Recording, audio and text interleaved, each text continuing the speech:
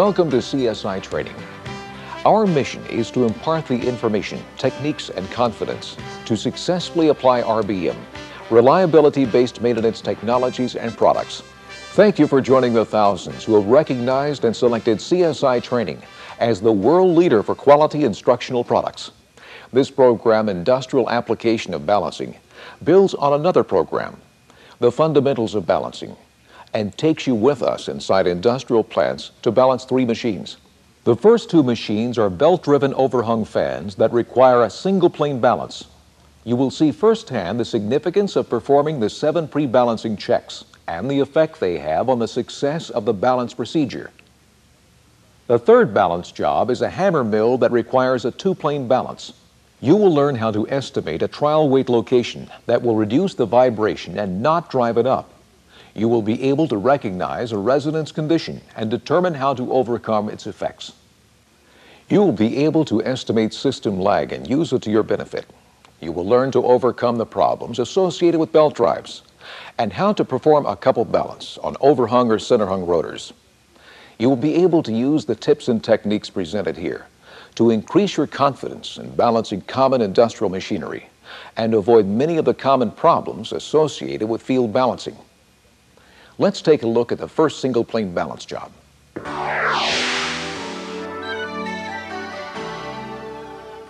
A successful balance job involves much more than just applying weights on the machine.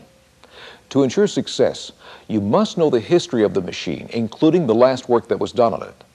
If you're not the person who has diagnosed this machine's condition, but are simply called upon to balance it, there are several questions you must have the answer to. What makes you think the fan has a balance problem? It's shaking pretty bad, huh? So it's never run smooth since it was moved to that part of the plant two years ago? What was the last work that was done on this machine? This is a very important question because more often than we'd like to admit, the last work done on the machine is the reason the machine is not running as well as it should be.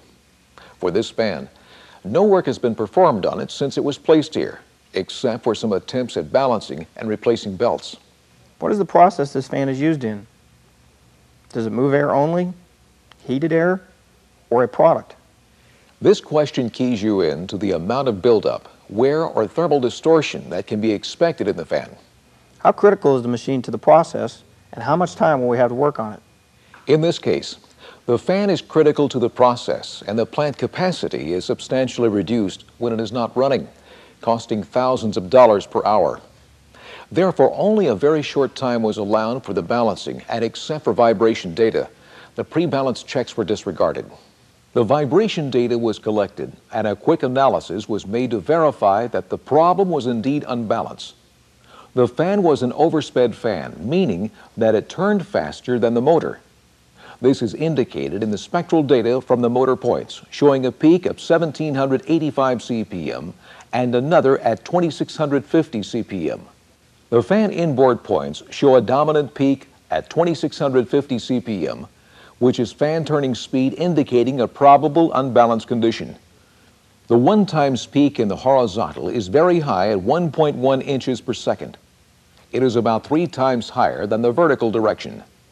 This 3 to 1 horizontal to vertical ratio is typical for a machinery balance problem. The axial measurement is as high as the vertical direction at the turning speed frequency. This points to other possible problems, such as sheave misalignment or a bent shaft. Since the fan is overhung, axial vibration can be generated if the shaft is bent past the bearing or if there is an unbalance on the outer edge of the fan. The multiples of shaft turning speed in the axial measurement point to a mechanical looseness condition, which may be amplified or forced by the extreme unbalance in the fan. After the fan is balanced, these harmonics may disappear or be low enough that immediate attention is not demanded. When the fan is stopped and locked out, the rotor can be inspected for buildup and broken, loose, or missing parts.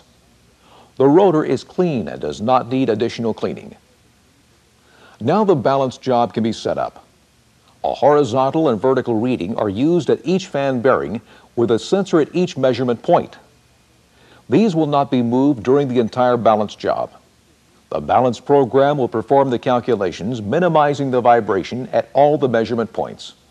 Select a convenient location on the shaft, trying to place the reflective tape in line with a known component such as a fan blade. Take extra effort to make this as accurate as possible. This fan blade now becomes the zero degree mark. There are 10 blades, so they are 36 degrees apart. The blades are attached to a plate and the balance weights can be attached at any angle on this plate. Therefore, we will mark the blades with the appropriate angle. The fan rotates this way so the angle increases against rotation, which is the true phase method of measuring. The second blade is marked 36 degrees, the third 72 degrees, and so on. When the phototach is set up in line with a sensor, calculations for estimating trial weight placement and system lag will be simpler. However, if the sensor and phototach cannot be in line, additional corrections can be made for the calculations. Here we must choose which sensor to line up the phototach with. A rule of thumb is use the sensor with the highest vibration and let it be the zero location on the rotor. However, in this case, the inboard side may have a direct influence from the belt drive, making estimations inaccurate.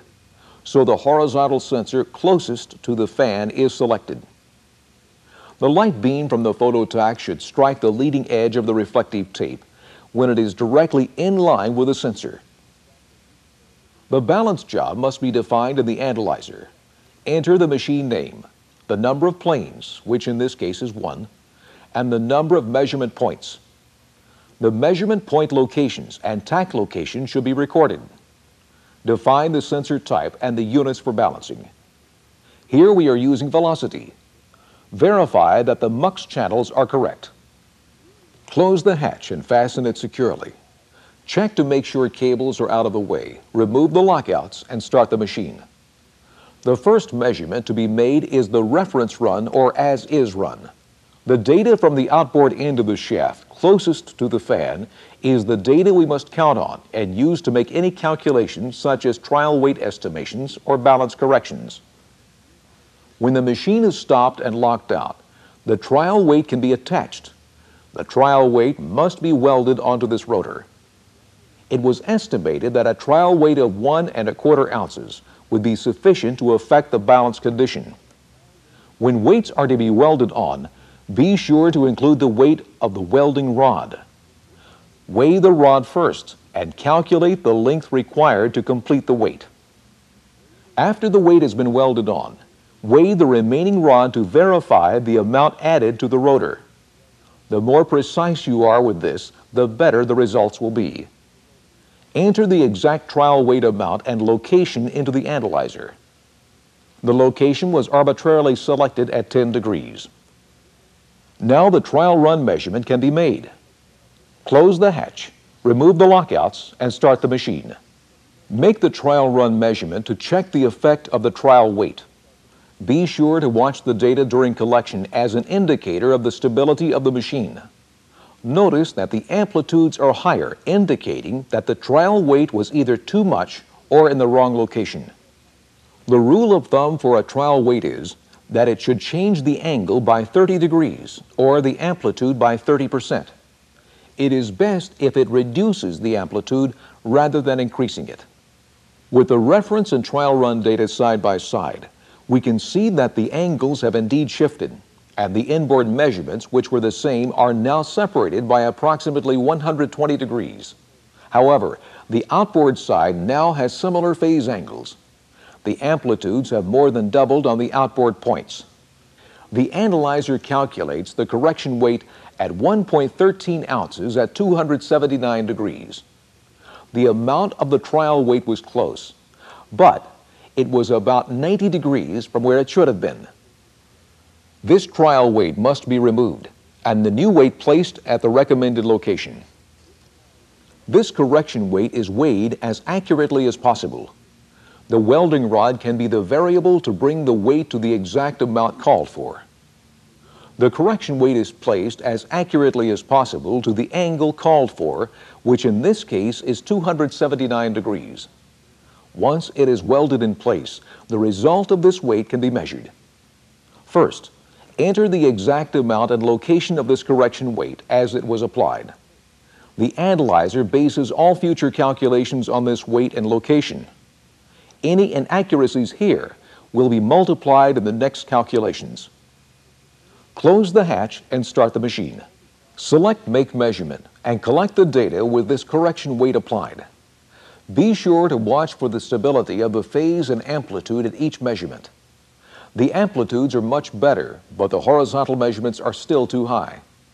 Comparing the horizontal measurements, the phase angles are about 180 degrees apart, meaning that while one end of the shaft is moving one direction, the other end is moving the opposite direction. This is difficult to correct using a single plane balance procedure, but it may be able to be brought to acceptable levels. Note also that the highest vibration is on the end of the shaft away from the fan. This suggests that this vibration is not all caused by the unbalance in the fan. This condition usually has minimal results with a single plane balance. The correction weight produced good results, so it is left on. The calculated trim weight is 0.21 ounces at 154 degrees. The weight is weighed and modified to be as accurate as possible. It is placed at 154 degrees on the rotor and welded in place. The remaining rod is weighed, confirming the amount actually applied to the rotor. Record this weight in the analyzer under the trim weight. Remember that trim weights are based on leaving the previous weight on. These new trim measurements are collected. The steadiness of the phase angle indicates whether there are other occurrences or sources of vibration at fan speed. A phase angle that fluctuates more than 90 degrees or walks the 360 degrees is due to other energy at nearly the same frequency. It could be a nearby machine or a multiple of belt frequency. The results of this trim weight reduce